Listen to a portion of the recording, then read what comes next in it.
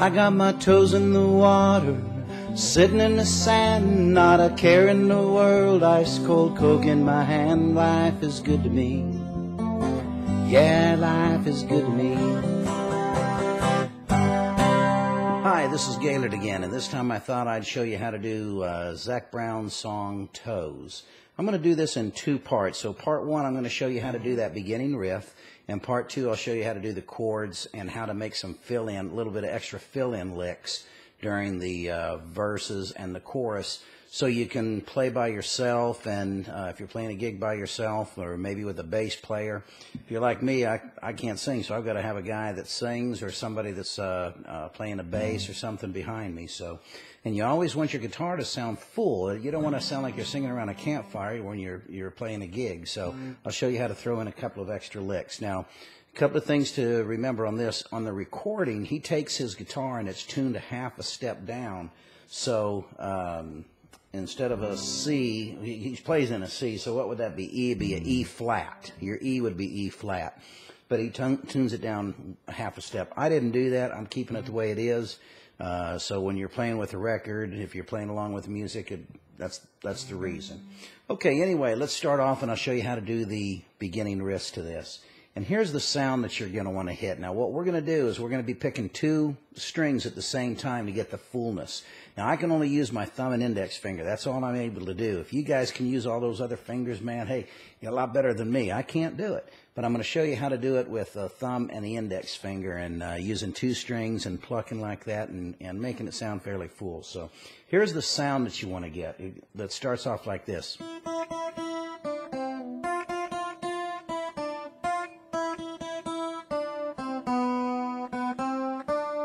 Okay? Now what we're going to do to get it full, we're going to be hitting the bass note, which is the fifth string on this one. You're doing a C, hold a C chord, but you're really only hitting the fifth string and the first, pretty much the first string, maybe the first and the second if you can get that in there too, but it goes like this.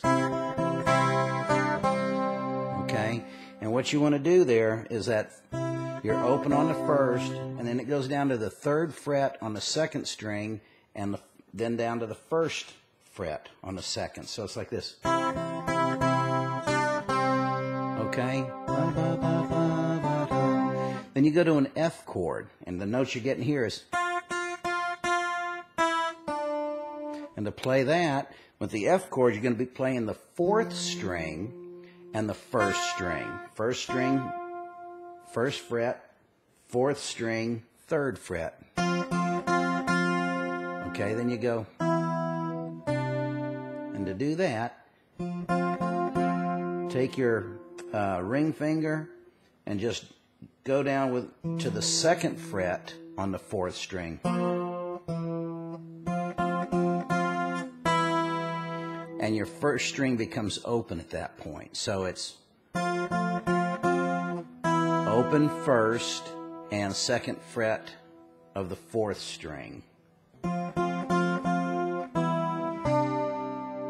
What you're doing there is you're going to now bring your pinky onto the third fret of the second string and your ring finger third fret on the fifth string. So essentially what you're getting, you're getting these notes. Okay, and it's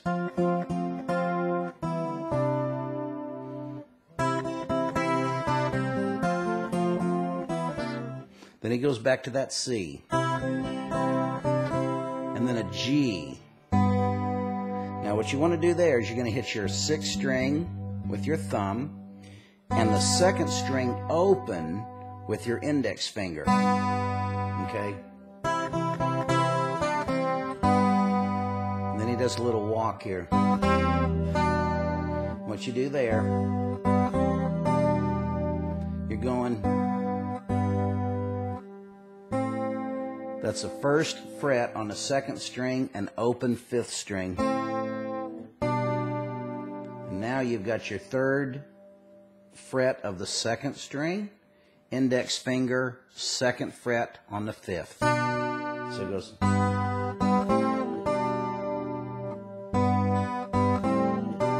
Then go back to that C chord again.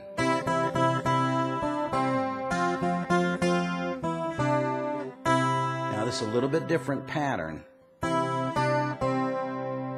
G.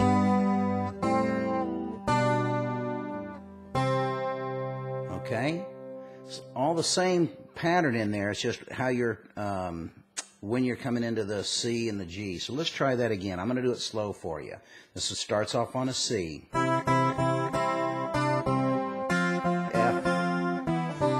C, G. Walk, C, F, C,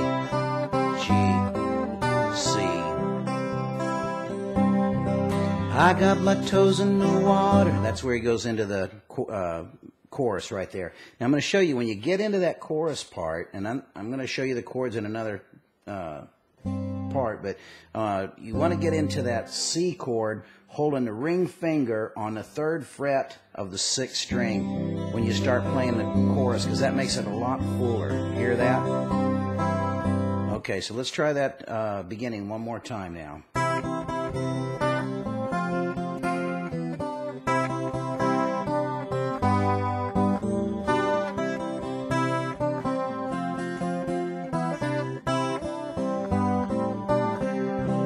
I got my toes in the water, feet in the sand. There you go. Very good. Wrong words, but uh, hey, you get the point. Anyway, hope that helps you. Uh, if you like my stuff, I hope you subscribe to my channel or, uh, you know, uh, let's be friends, however they do it on YouTube, you know. But uh, anyway, this is Gaylord. Look for part two, and I'll show you how to do the chords to that, to the chorus part. See you later. God bless you.